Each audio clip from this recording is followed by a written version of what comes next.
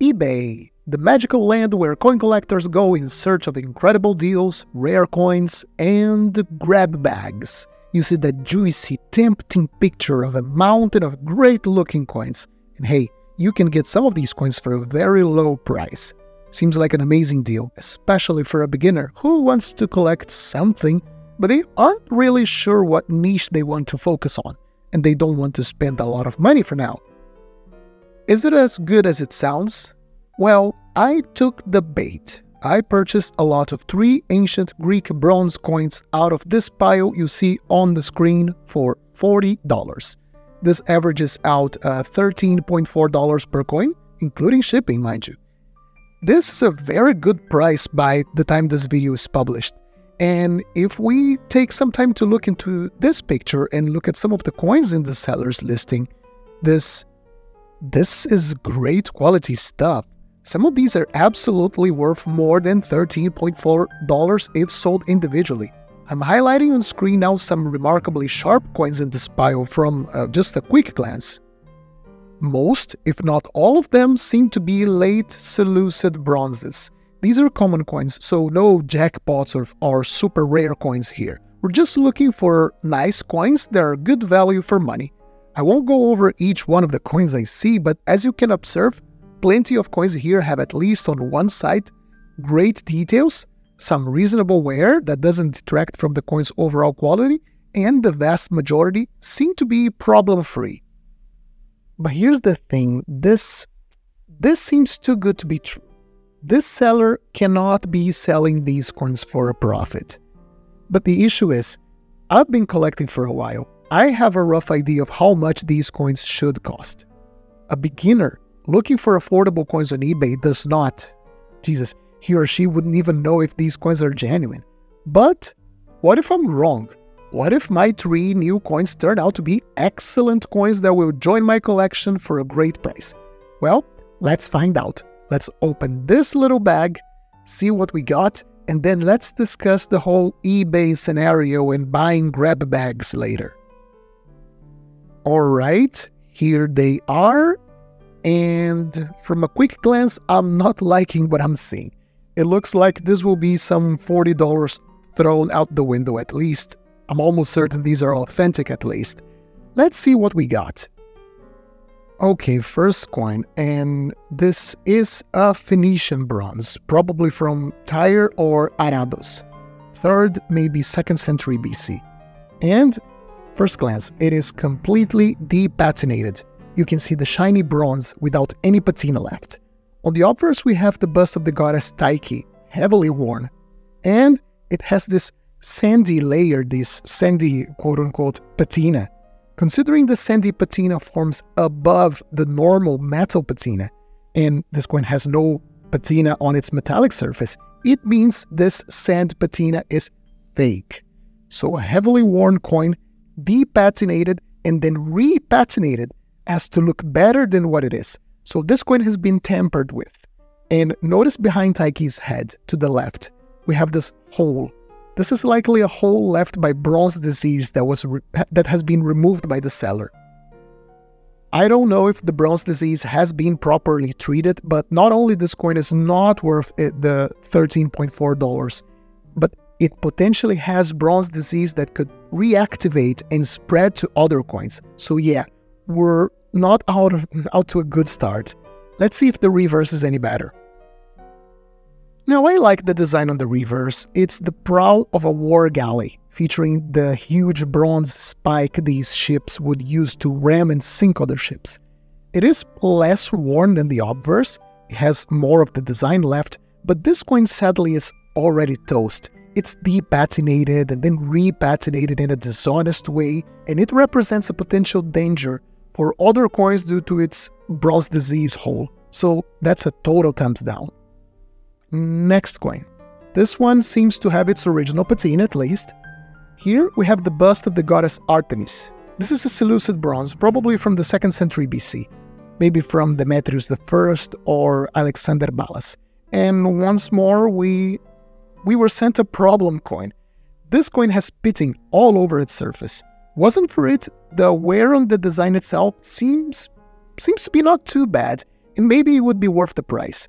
But in this condition, this is another thumbs down for me. Not as bad as the first one, but still, thumbs down. The reverse is more of the same. We have the bow and quiver of Artemis at the center of the design, and the legends seem to read Basileus de yeah Basileus Demetriou. Okay, that seems like Demetrius the first. Once more, not a lot of wear actually, but the pitting just makes this coin a junk tray piece. Yeah, this coin gets a bit closer value-wise to $13.4, but still, this is much worse than what we saw on the dealer's pictures, right?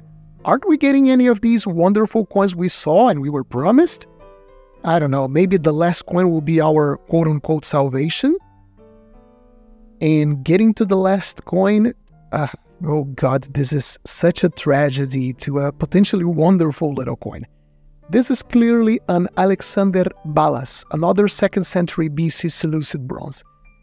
This, this is a bust of Alexander wearing the skin of the Nemean lion. He has some pretty awesome designs structuring his reign. And once more, we have a problem coin. Despite the little wear on this piece, look at this awful bronze disease hole right at the center, right at Alexander's face. If this coin didn't have that, it would have easily been worth the entire lot's price. But alas, another problem coin that isn't worth that isn't worth the price in my opinion for the money we pay for it. But this reverse is what truly got me pissed off about this whole lot. It is entirely covered in incrustations and it is covered in active bronze disease spots. The tiny little green dots you can see scattered around, that's bronze disease. This, this coin, although the best looking of the lot, is a ticking time bomb, and that kind of grab bag is advertised as a good value for beginners. You know what a beginner will do with these coins? He or she will put these coins with other pieces in a tray and potentially damage their collection by spreading bronze disease.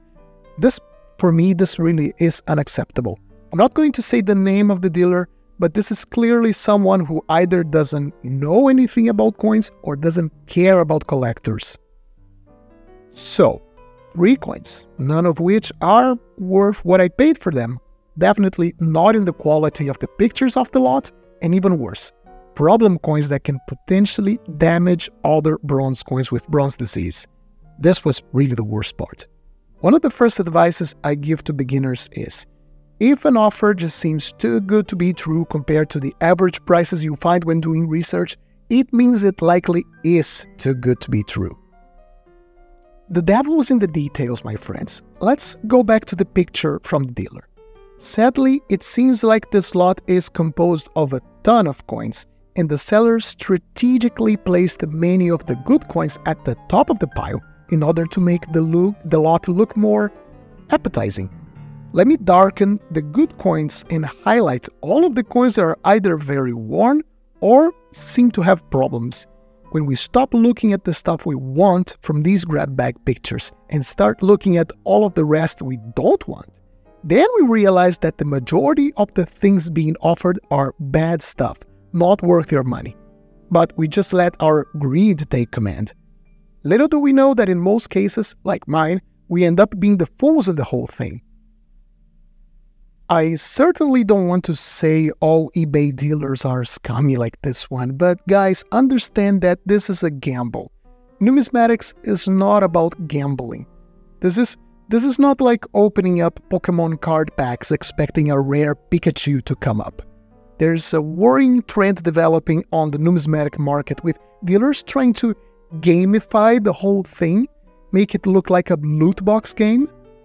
The vault box phenomena in US and bullion coins is, a, is an alarming example.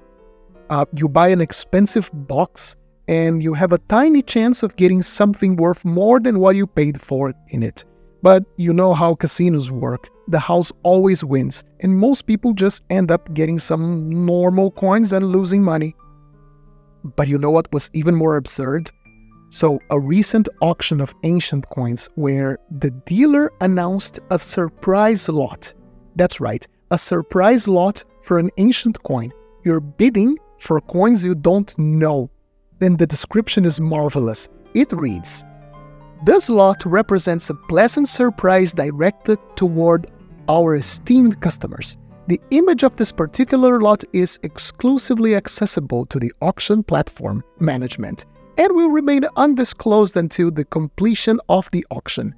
Subsequently, the highest bidder shall be granted the privilege of acquiring this coin, which could potentially be of low or high value, thereby contributing to the overall anticipation and element of surprise. We cordially extend an invitation to participate in the bidding process for this undisclosed item. May fortune favor your endeavors. My God, feels like I'm in 16th century England. The lot received 16 bids and ended up hammering for 380 pounds plus buyer's premium. How could anyone be sure that the dealer wouldn't just wait to see how much the final hammer price was and just pick something that would give them a profit? And if any of you watching did bid on this, my dear friend, I have a bridge to sell you.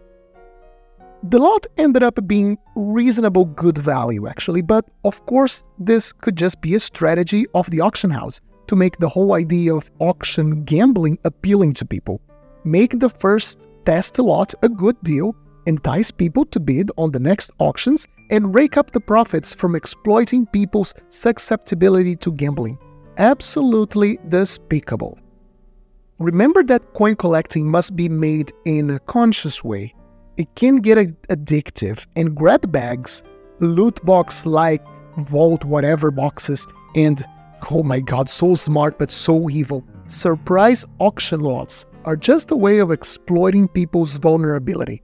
I'm sorry, guys, I don't want to sound harsh, but if you are a dealer, you can't do that stuff. That's evil.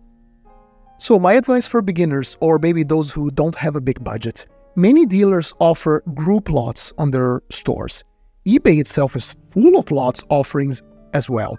That's a whole different story. Even if you buy the coins from a lot unattributed, these generally have a picture, both sides of the coins. You know exactly what you're buying. The pictures are there. You're doing a conscious decision based on what you're seeing. Even if the coins don't and, and if the coins don't match up what was offered, you have every reason to get a refund and you have photographic evidence you might also find what many dealers call junk trays or pick trays on coin shows or mm, on stores, where all coins in a box or a tray are the same price.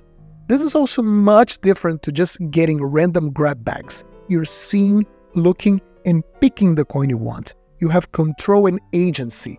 As much of a beginner as you might be, at least you're making a conscious decision based on your gut feeling that the coin you have in front of you is worth 10, 15, 20 bucks, whatever. You're looking at it, it's right in front of you, you have agency.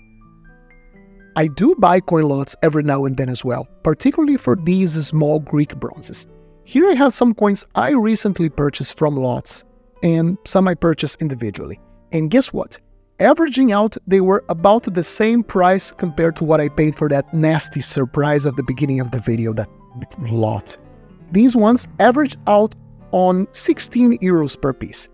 A little bit more expensive, yes, but as you will see, the value you can get for coins when you can see what you're getting is a world of difference. So, first we have this humble bronze coin of King Lysimachus, one of Alexander's successors. We have a somewhat worn bust of Athena on the obverse, but it has an okay patina. Maybe it was a bit harshly cleaned, as we can see the green patina itself and the earth layer on top of it are a bit rough but it's still an obverse with no issues, no sign of bronze disease, and the design it's all there and clearly recognizable. Same thing for the reverse. We have this cute little lion. The patina could be a bit nicer, but it's all there. The legends, Basileus Lysimaco, are clearly visible, and the wear is perfectly acceptable for a 16 euro coin. Next, we have this very interesting coin from the city of Misala, the obverse features three overlapping hoplite shields, very creative design. Surprisingly high relief for such a small coin, and it's also in pretty good shape. The reverse is definitely weaker than the obverse. At the center, we were supposed to have the design of a sword and the inscriptions of the magistrates of the city. But even if this specimen is very worn, at least it doesn't have bronze disease and no major issues. And since I bought this coin mainly for the obverse, this was no real issue for me. And finally, this last coin comes from Phrygia, from the city of Apameia. In my opinion, this one was the best value for money of the entire lot. The obverse has this really great bust of Athena, wearing her armor and helmet, looking to the right. Is it in mint state? No, it is not, but for 16 euros, I would say that's pretty good. And once more, that's something you can only get when you see the lot of coins you're buying instead of just trusting your luck and being at the mer- at the dealer's mercy on your grab bag. The reverse is equally interesting. We have an eagle landing over a geometric design, and it is flanked by two caps of the Dioscuri, the Divine Twins. There are some inscriptions above and below the design, but sadly for these cheaper examples, it's common to find them either worn or struck out of the flan, like in this example. I don't want to scare you off eBay. It's an interesting marketplace. It is full of good dealers as well, and I would be making them an undeserved disservice for not mentioning this, but understand it is the wild, wild west of coin collecting. It has as many fakes as it has good deals, and I generally only recommend it for when you have a bit more experience distinguishing real coins from fakes. And in case you want to know how to avoid fakes, look up my channel. I have some videos with tips on how to avoid fakes. Yeah, check some of the video videos in the description. And please collect in a healthy way. Don't fall for loot boxes, mystery grab bags, or sales strategies that introduce gambling mechanics into your collecting. Assembling a collection of ancient coins is akin to telling a story through coins.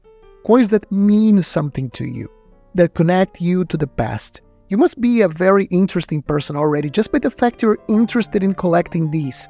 Don't reduce these millennia old objects to casino chips. It's not something for someone of your intellectual caliber. You deserve better. So, yeah, ancient coin grab bags? Not for me. I'll be returning these and opening a claim against the seller. At least the price tag of $40 to potentially edu- educate other collectors was worth it. What is your experience with grab bags? Let us know in the comment section down below. Happy collecting, and I'll see you soon.